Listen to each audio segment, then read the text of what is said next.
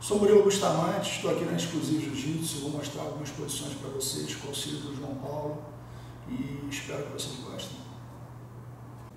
Pessoal, vou mostrar aqui uma passagem que eu gosto de fazer, tá? É, partindo de uma posição que eu me sinto muito confortável aqui dentro da guarda, né? O gancho dele do lado, né? Eu chego nessa posição colocando a perna dele, o gancho do lado da minha perna que está baixada, né?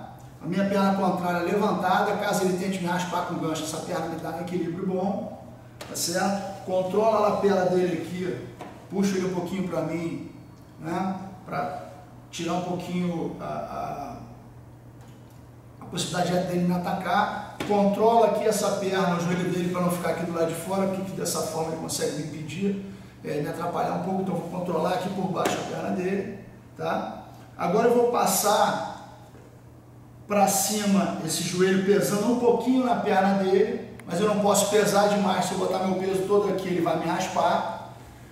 Então eu boto um pouquinho, paralelamente eu vou esgrimar o braço e empurrar essa perna para baixo, dar uma passada grande para me equilibrar, ficar bem equilibrado e minimizar o risco da raspada. Então eu estou aqui, vou partir esgrimando, empurrando essa perna para baixo, colocando minha cabeça no chão e pesando para o lado da minha canela, na perna dele. Vou abrir a perna dele com a minha canela. Ao mesmo tempo que eu empurro para baixo a perna, esgrimo, peso da minha cabeça para o meu lado direito, tá? lado contrário que eu estou esgrimando. Vou abaixar um pouquinho essa perna aqui dele, para não deixar o gancho, minimizar a possibilidade. E agora aqui eu tenho duas oportunidades, tá? na verdade três. Ou eu posso virar para cá, passar cruzando, ou daqui eu simplesmente passo a minha, o meu pé e já sai com o joelho na barriga, ou daqui agora eu escorrego direto para a montada. Então eu tenho três ataques para fazer, dependendo da reação do meu oponente.